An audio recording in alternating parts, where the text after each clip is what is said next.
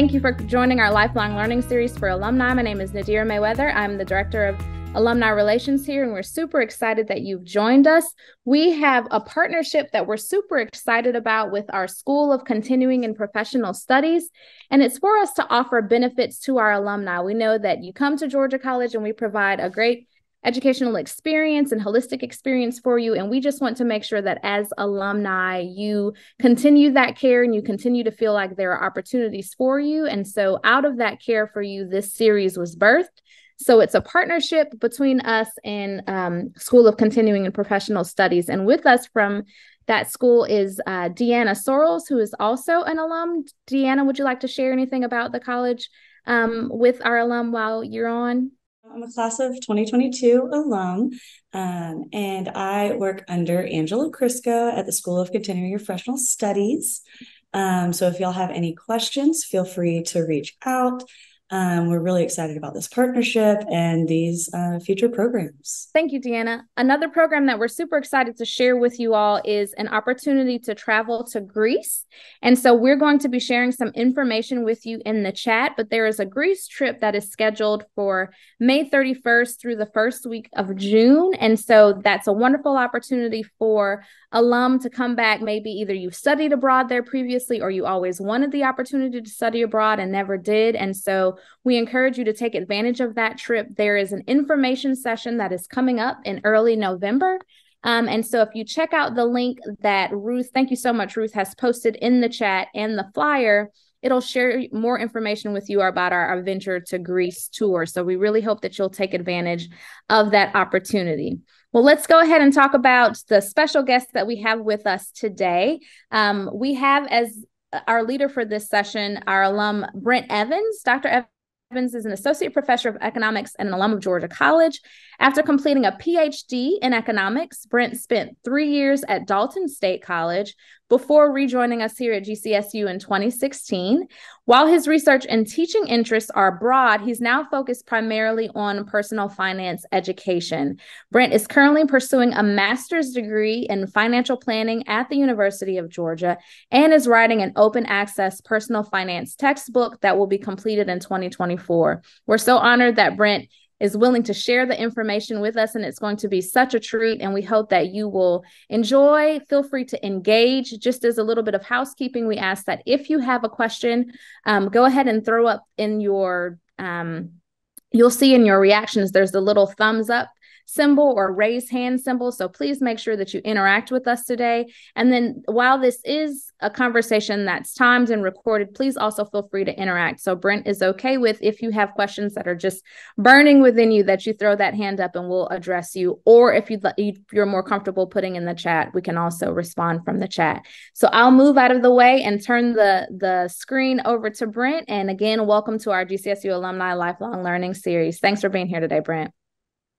Thank you so much, Nadir. And I want to thank everyone else for coming. Uh, you know, I'm a college professor, so typically I'm up there in front of the whiteboard, but I'm going to do my best here with this Zoom presentation today uh, to help you guys out with something I'm really passionate about, which is developing a financial plan, making good financial choices. So let me share my screen. Let me jump right into this here. This is kind of a difficult thing uh, to try to discuss personal finance in just, you know, 30 or 45 minutes, but I'm going to do my best. And if nothing else, maybe I'll inspire you a little bit to uh, really dive in and think about the choices that you're making uh, regarding your finances. So, as a as a bit of motivation here, I want you to think about what might determine your life satisfaction when you're 80, 90 years old. And I, I think uh, one thing that shows up in literature is that connectedness plays a great role in that. Your family, your friends, your deep relationship that you have with others.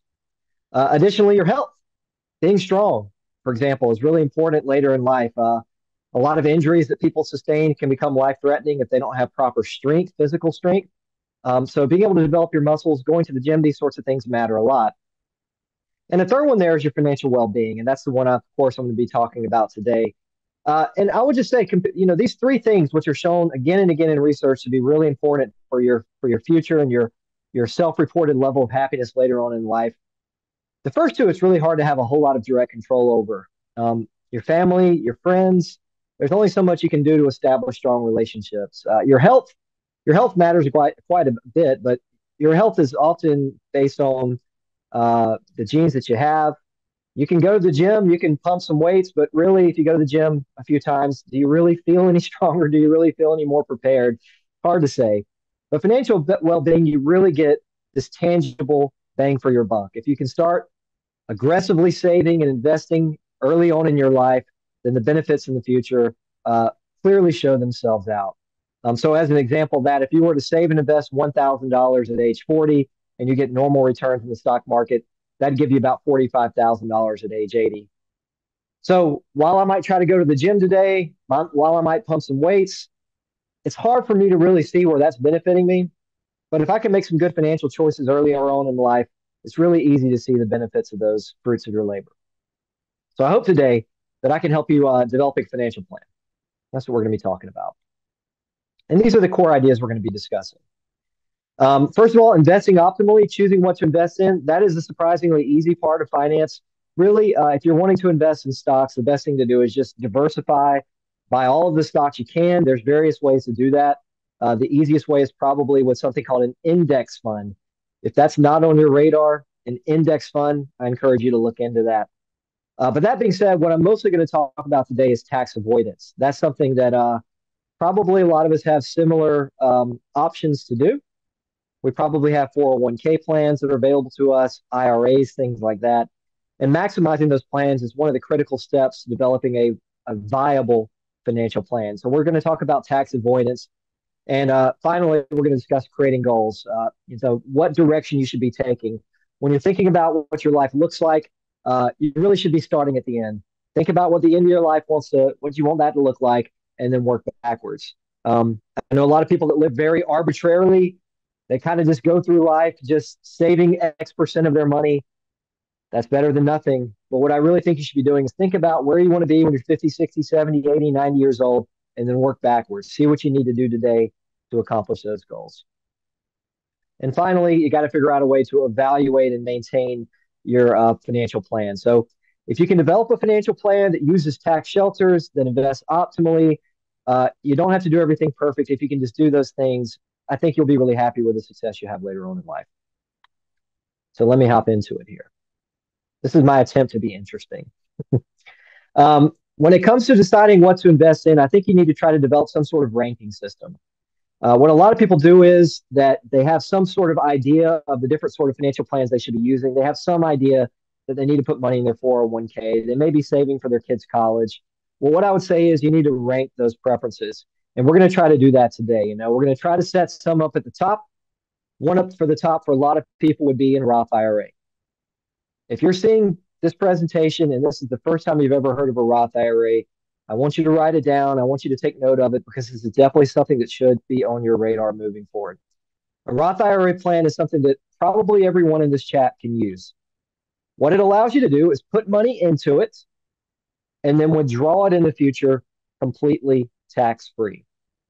So if you're under the age of 50, you can put $6,500 in this year in 2023, and that money will never be taxed again at any point in the future. And what's especially useful about a Roth IRA compared to other types of investment vehicles that we're going to discuss is you can take out your contribution at any time. So this is what I mean by this. Okay, let's say this year I put in $6,500 and next year I've got $8,000 in my account. I've had some growth in my account. Next year I can actually pull out that $6,500 even though I'm not at retirement age and use it for any purpose whatsoever. It provides a lot more flexibility the different different types of accounts there, like a 401k. A 401k, you got to wait until you're 59 and a half. All right. But a Roth IRA, you can take out your contributions at any time. So for a lot of people, this should be at the top of your list, maybe like the University of Georgia is in the SEC. Put it at the top of your list and prioritize putting money into that account. All right. And you guys stop me if you have any questions. So also near the top of that uh, list is something called a health savings account. All right. So if you're trying to build a financial plan and you've never heard of a health savings account, I really encourage you to look into this because the health savings account is one that a lot of people don't know about and they're really missing out on some amazing tax savings. An HSA allows you to contribute up to $7,750 in 2023 if you are on a family health insurance plan. But what's unique about this plan is it's only available to those that use a high deductible insurance account. So if you have some more other type of health insurance plan, like a PPO or an HMO or maybe a comprehensive plan, you probably don't know about an HSA because you maybe have never had access to one. But what's really nice about an HSA is it allows you to put money in and completely avoid taxes forever on that money that you put in, as long as you use it on medical expenses in the future. Unlike 401ks, unlike Roth IRAs, where you still have to pay some taxes, the HSA allows you to avoid taxes going in and going out. What I mean by that is if you put $5,000 into an HSA, that reduces your taxes today. It reduces your 2023 taxes. And in the future, if you pull that money out to cover a medical expense, you don't pay any taxes then either. You avoid federal, state income taxes, you avoid Social Security taxes, and Medicare taxes. For a lot of people, that means you're going to be saving about 35 to 40% on your expenses. So, with 100,000 plus uh, dollars worth of medical costs over the course of your life, we're talking $40,000, $50,000 in savings that you might generate by using an HSA. Like a 401k, like an IRA, you can invest this money.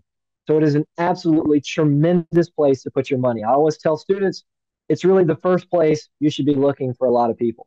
Okay, that's an, a health savings account. So you can see there, I've got Alabama in the image, top program in the SEC football ranks. They're near the top. HSA likewise should be near the top. What I'm trying to do is help you prioritize because there's so much out there you can do with your money. But if we focus more on the very most important plans, I think you'll see you get the most bang for your buck. So that's an HSA. By the way, if you happen to work for Georgia College, we get a match on this account. So for money we put in, university system, Georgia matches that amount that we put in. I think it's $750 on the family plan. So you really don't want to miss out. Uh, another potentially really valuable tax shelter. Now I chose Tennessee because you know Tennessee has been uh, not very good the last several years, but they started to improve over the last couple. Same kind of deal with the 529 plan. Its usefulness has really improved for a lot of people in the last couple of years, and I'll explain why. Uh, 529 is different from the first two plans we talked about. You know, a Roth IRA is a very flexible plan. You can basically use it for anything. An HSA plan, you can use it for medical expenses. It's a little bit less flexible. A 529 plan is even more restrictive. You really can only use it to cover education expenses. But it has gotten a little bit easier to use in the past couple of years. Here's the reason why. When you put money into a 529 plan, it doesn't do much to affect your current state taxes. The only thing it does is it reduces your state income taxes. It doesn't affect your Social Security, your Medicare taxes, or your federal income, um, income taxes. It doesn't do anything with that. But when you put money into a 529, it does reduce your state income taxes. And when you pull the money out of your 529, you don't pay any taxes at that point. So it's another tax shelter. It's another way to avoid taxes. A lot of people use this for uh, paying for their kids' college education, and that is a pretty good way to use it. So the way this would work is when your kids are of any age, you can put money into your 529. That money can be invested. And then when your kids are in college, you can pull that money out to pay for tuition. When you pull that money out to pay for tuition, you don't face any taxes or fees. So it's kind of a relatively good tax efficient way to pay for college. What a lot of people don't know, however, is that a 529 plan can also be used for primary education. So if your kid is in a private school, and let's say they're in third grade, you could actually use money in your 529 to cover their third grade tuition. So what I've encouraged a lot of people do if they if they have kids that go to private school, put money into your 529 to avoid state income taxes today, and then pull it right back out to cover uh, their tuition payments. In doing so, you can skip some of the state income taxes that you otherwise would have to pay. I know that's kind of a complicated thing for me to explain here via Zoom, but again, I'm just trying to expose you to these ideas. So if you have a kid in private school, you really want to look into a 529 plan. This is super low hanging fruit. It's an easy thing you can do to save a little bit of money. And what's made this plan even better over the last year is now money in a 529 plan can be rolled over into a Roth IRA for the person that owns the plan. So I've got two kids. If they end up going to college via scholarship and they don't use their 529 plan, uh, you know, so they've got $20,000 in their plan that they never use. Now you can roll that money into a Roth IRA. We already know a Roth IRA is a really good plan. So for my kids, if they're able to keep that 529 plan intact, they now have a really good exit strategy to free that money up. They can roll it right into a Roth IRA. And that is something that is completely new for 2023. And a lot of people simply don't know about it yet. So this makes the 529 plan a lot more valuable today than it was a few years ago. Just like Tennessee is a lot better now than they were a few years ago. If you allow me to stick with this kind of lousy analogy. Brent, we do have one question yeah. that's come through the chat. Absolutely. Mm-hmm. And uh, uh, that's do you have to have dependents to have a 529? No, you do not. So you can open up a 529 plan for anyone. So if you've got, uh, you know, a niece or a nephew, or even just like a family friend, you can open up a 529 for them. Uh, the one thing to note, however, about a 529 plan is it is in the beneficiary's name. So you open up a 529 uh, account for a niece. Uh, that niece now owns that money, and you really can't recover that. That's their money that they can use for education expenses or to roll into a Roth IRA. Does that make sense? All right, so moving on here here are the kind of steps you need to think about. All right. I expose you to a couple ideas. That's what I'm trying to do here is just expose you to some different ideas. So talked about the Roth IRA, talked about the 529 plan, talked about HSAs, three plans that are really useful for a lot of people. So now let's think about maybe large scale, how you want to develop a financial plan. And I really think you need to first uh, think about your goals. All right. Don't just go through life arbitrarily don't just save a little bit of money and just see what's going to happen. Try to figure out roughly what you want to do later in life. You know, do, do you see your retirement as being something where you're kind of chilling at home, not spending a lot of money, or do you expect yourself to be going on a lot of vacations? Well, which of those routes you take is going to really hopefully influence the type of decision you're going to make today. Um, and that's kind of what I'm trying to get into now. Your age and your lifestyle during retirement, the inheritance that you want to leave to maybe loved ones, and also the types of expenditures you're going to make later in life. Those types of things, your expectations about the future should really inform what you're trying to do today. And as it always is the case in financial planning, which is kind of frustrating, uh, it's easiest to it's easiest to reach for those goals early in life. All right, I noticed Logan. I noticed you're on this uh, this uh, session here. Logan Parker. He's a recent graduate of Georgia College, and he made some really good financial planning early in life if you can do that when you're younger, you just get so much bang for your buck. Uh, if you can save a lot of money in your early to mid 20s, frankly, that just goes so much further than when you're in your 40s and 50s. So, what I would say to people is uh, if you haven't really developed a good financial plan, you don't want to wait. You want to do that as soon as you possibly can, which will give you more chance to grow your money and more chance to take on risk because it does get uh, tougher when you're older. So again, uh, these power rankings. I know it's kind of a silly analogy, but this is how I think about my own finances. I want to put things in order to make things easy for myself. Okay. And uh, this is just how I set it up for me. It's going to be different for you. Okay. I, I work for a public institution, so I don't have a 401k. If you work for a for profit company, you probably do have a 401k. So all of us have a different list of priorities. All of us have a different list of, uh, of different investments we can choose among. Um, but what we do have is probably somewhat similar goals. We want to retire. We want to probably buy a house. Uh, we do have some goals in mind. So this is my order. Okay. In regards to my power rankings, the first thing I want to do is make sure I'm covering my expenses. I want to make sure I have money in my checking account to pay for expenses. I probably want to develop some money, you know, set aside to cover expenses. Maybe, you know, five, ten, twenty thousand dollars worth of cash that's available for me if I have a car breakdown or a roof leak, something like that. But once I've achieved basically goal number one, that first one on the list is really about survival. All right. That's about having the money I need to cover my expenses. Once I'm covering my expenses, I want to get more grand with my thinking here. And the very next thing I'm going to look at is anything with a match. Anything where my company is going to give me free money, that's the next place I want to prioritize my money. For a lot of people, that's a 401k match. So if your company is saying, you know, we'll match the first 3% of your income that you put in your account, you should do that before you're even entertaining anything else on this list. That should come high up in the priority. For me, the next thing I look at is my HSA, my Roth IRA, and so forth down the list. But I'm not touching, I'm not touching number five, number six, and number seven on this list until I've completed those other goals at the top. I am moving down at the list. In other words, if you see this kind of drink dispenser over here on the right, that is not how I would recommend you develop your financial plan. but it's what I see from a lot of people. A lot of people will say, I've got these different places I can put my money. I can put my money in a 529. I can put my money into a Roth IRA. And they'll just sprinkle little bits of money into each of those accounts.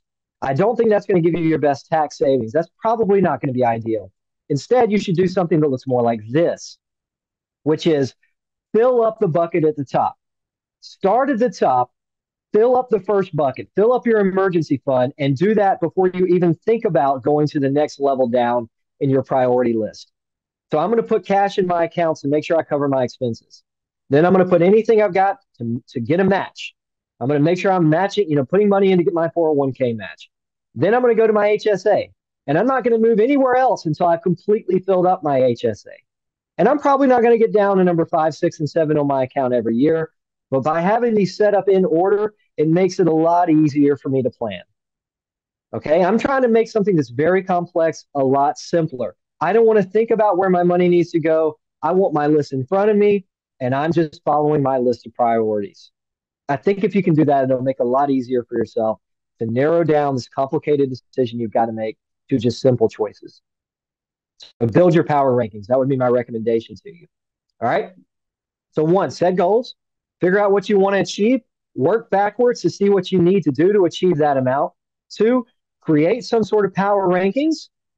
Your power rankings may change over time. You know, putting money, saving for college, that's probably not something that matters to you when you don't have kids, but when you get older, maybe it will matter. So, set power rankings up, be willing to be flexible with those in the future.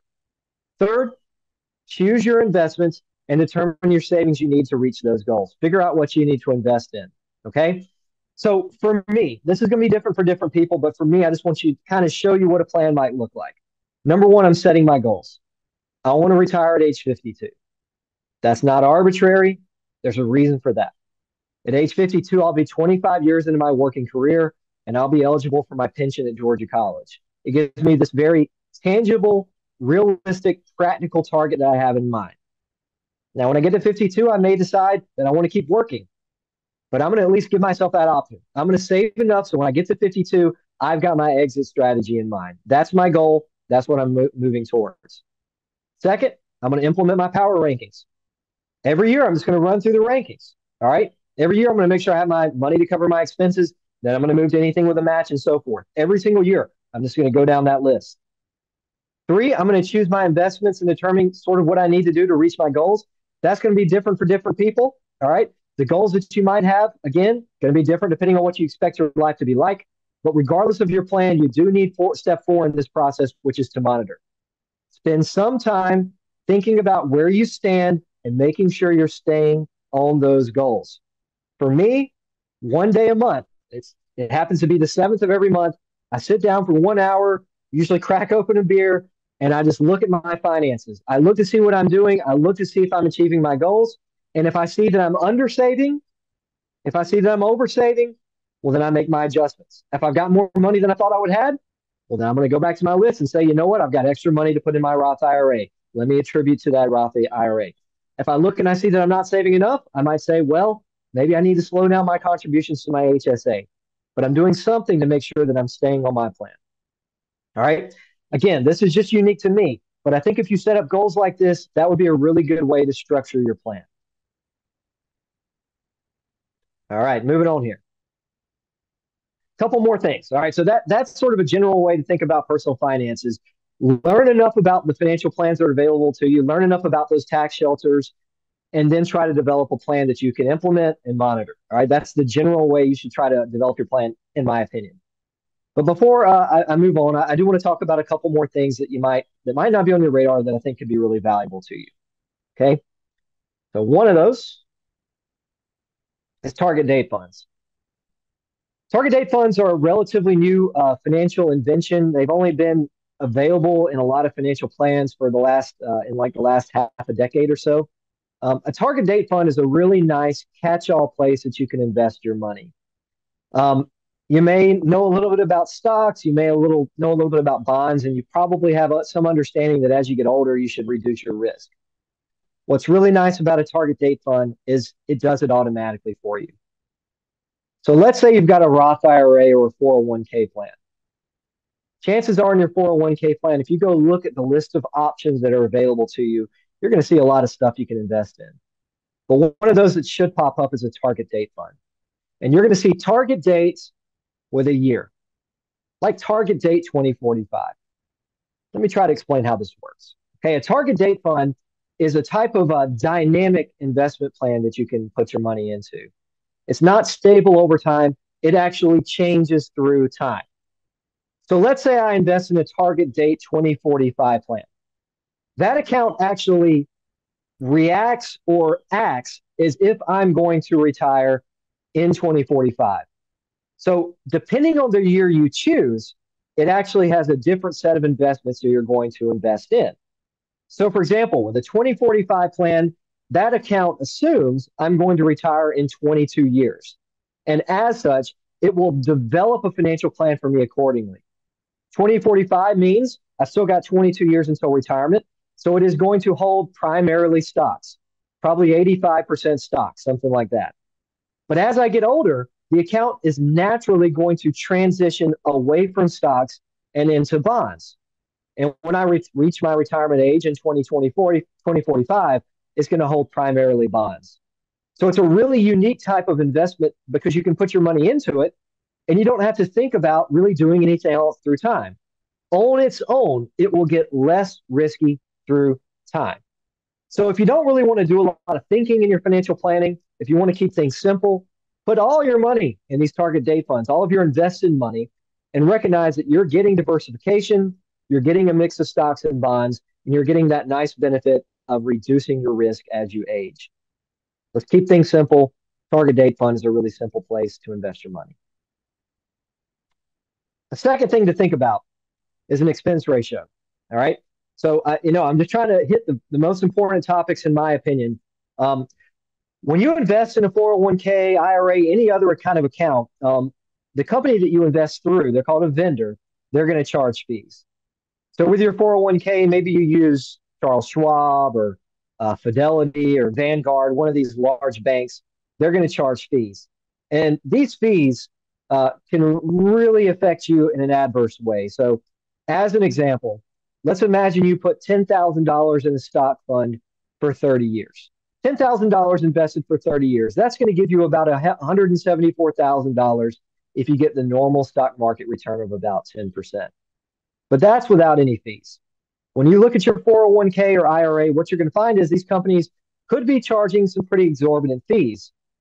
For example, you might notice they're charging a 1% expense ratio. A 1% fee doesn't sound so bad. All right. 1%. I mean, 1% of $100, that's just $1. That doesn't sound so bad.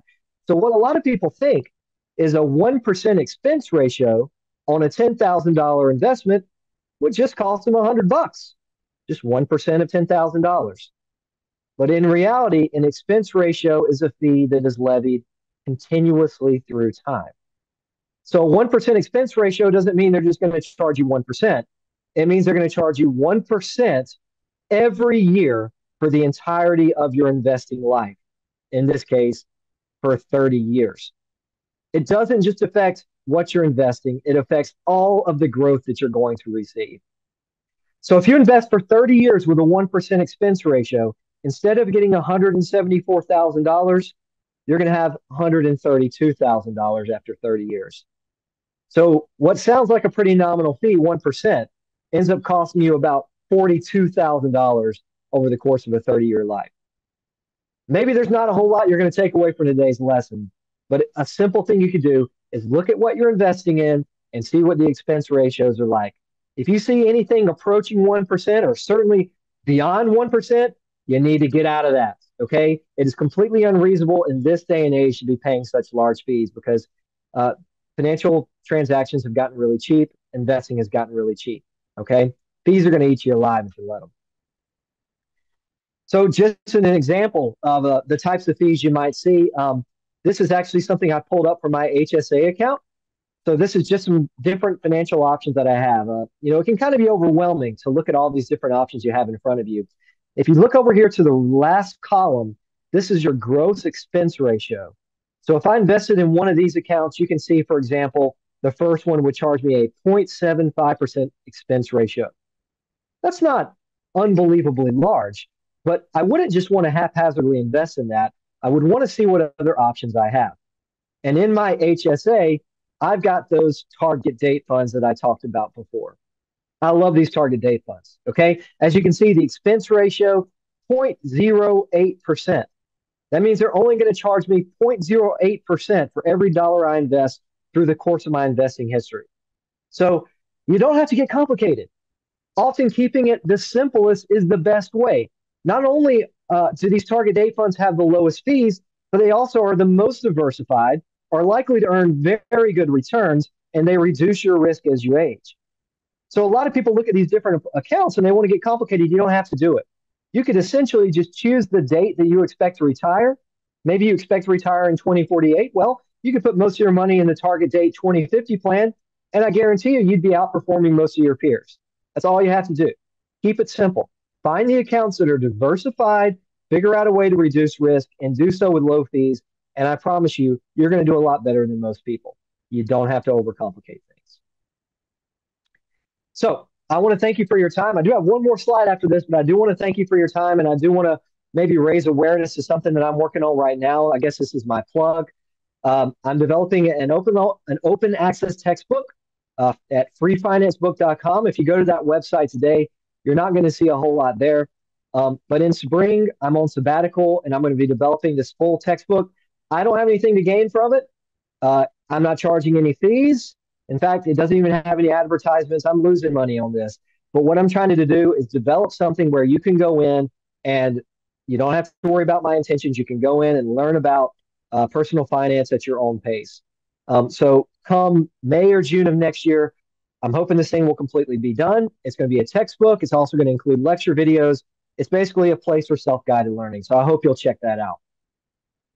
As a last slide, and uh, I'll let you out of here after this. And of course, I'll answer any questions you have. But as a final slide that I prepared today, uh, as a last chance maybe to motivate you, I want to think you to think about how much your time is worth. You know, it, if I offered to pay you to come over to my house and work for me, what would you require? Would you, would you do it for $20 an hour? Would you do it for $100 an hour? I'm guessing a lot of you would, at least for $100 an hour. Well, if that's the case, I want you to think about how much it would be worth to you to just take some hours of your day and think about your finances, to develop a plan. My guess is for you, if you spent, say, 20 hours working on your personal finances, I bet you would generate a tremendous amount of wealth for yourself over the course of your life. Okay, everybody works real hard at their job. I bet you're putting in 40 hours a week plus. But when have you taken the time to just sit down and think about how you're going to develop your wealth through time? Because I guarantee you, if you spent 20 hours, you're going to develop thousands and thousands of dollars in extra future wealth for yourself. All right, pay yourself, figure out how to manage your finances, and that'll be worth more than whatever you're making at your job this week. I really do guarantee that. So again, I want to thank you so much for your time. I don't know what you got out of this, but I really do appreciate you for joining me today. Um, feel free to reach out if you've got any questions. I know these slides are also going to be shared as well.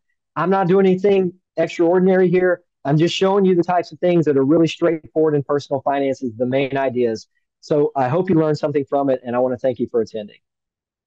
Well, everyone, let's give um, Dr. Evans a virtual round of applause. That was fantastic and lots of information gleaned on that. And if you will, let's just give some feedback. If you guys will just enter in one to three words what you got out of it in the chat, that would be amazing. If you just had to quickly summarize in one to three words your your biggest takeaway, that would be awesome. I also want to offer an opportunity in the time that we have left for any questions. So feel free to um, raise your hands and unmute or um, type it in the chat really quick because we want to make sure that you all have opportunity to utilize the expertise that Brent has brought with us today. Yeah, I'd absolutely be thrilled to answer any questions you have. Uh, about 35 years ago, I was, uh, I'm probably the oldest guy here, but about 35 years or so ago, I was the director of comp benefits for a major company and therefore over the pension department.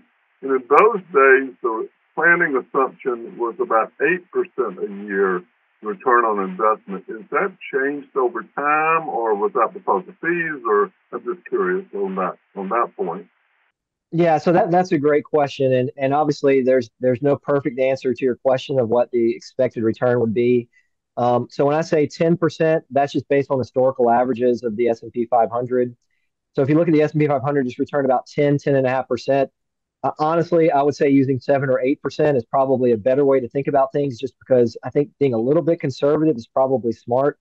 So yeah, when I when I think about my own personal finances, I do typically use 7%.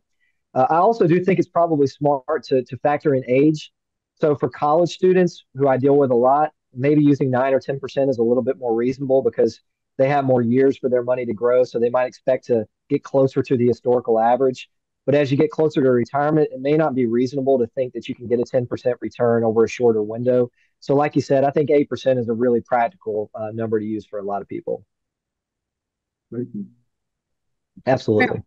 We also have a question in the chat. Kyle Brogdon said, How do you feel about the strategy of paying off a mortgage as quickly as possible?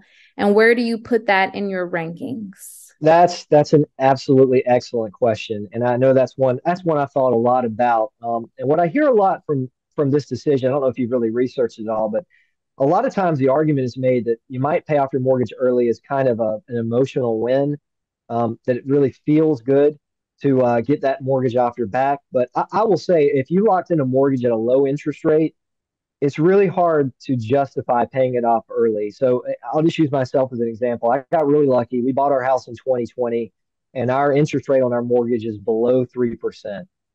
At that interest rate, uh, I think just paying down the minimum is probably, at least mathematically, the optimal move. So, for example, my mortgage rate, if it's 2.75%, all I need to do is, is earn a return beyond 2.75% uh, to come out ahead financially. So, for example, if I've got twenty thousand dollars in my hand right now, one thing I can do with that twenty thousand dollars is put it into my mortgage.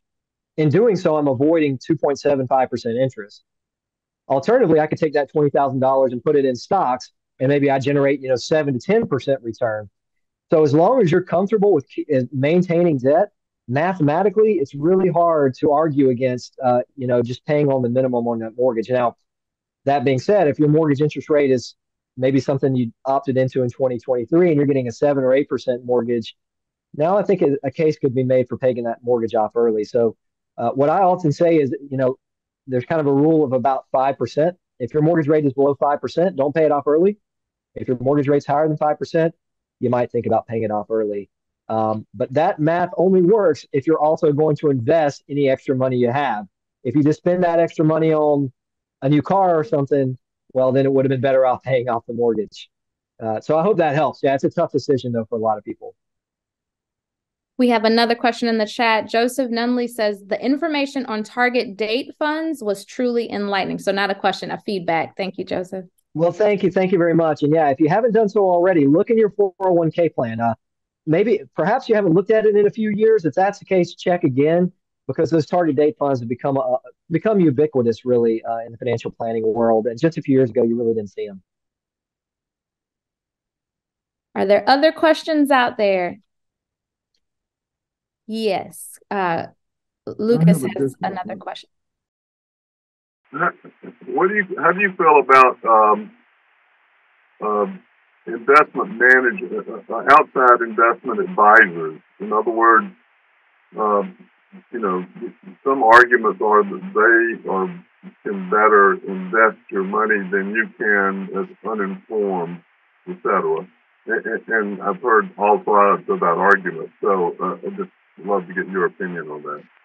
Yeah. So I mean, I, I have two feelings on this. Um, one, I can tell you that financial advisors, historically, if you look at academic research, financial advisors really don't have any sort of special ability to consistently beat the market. Um, very few do. In fact, if you look over about a 30 year period, only about 1% or 2% of financial advisors outpace the market as a whole. So I don't doubt that there's some financial advisors that do have skill, but the market just works so well. The market is just so incredibly efficient that it's really difficult to do better than the market does as a whole. So what I would say is financial advisors do a, potentially do a really good job of of sort of getting people to invest their money, keeping them on the right track. So if you employ a financial advisor, one thing they'll do is you know keep you from pulling your money out of the uh, out of the market when you're scared. That's something a financial advisor potentially can do very very well. But when it comes to picking stocks and deciding where to invest, to be frank, I don't really believe they have any special skills there. I think if you just put your money in some sort of well diversified fund, you're probably going to beat most of most of the financial advisors out there. Thank you. Yeah, absolutely. Other questions?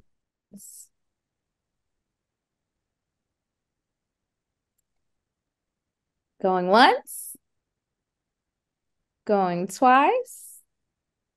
Okay, well, thank you so much again for joining us for our um, first of four sessions for this year for the GCSU Alumni Lifelong Learning. We thank you so much again, Brent, for sharing that information with us today. Um, he has shared his email in the chat. So if you have questions, please feel free to send them to him. And we are looking forward to the resource that you're sharing with us here in a year. Um, I know I personally am looking forward to it, and we'll try and drum up some excitement around that. So as soon as it's released, let us know, and we'll share that with our alum as well to to support and to to get that quality information. So thank you so much, everyone, again for coming. Please also, if you will, remember to um, check out the information that we shared in the chat about the Adventures of Greece tour uh, trip that is happening this May. We'd love for all of you all to uh, attend the information session and find out more about that.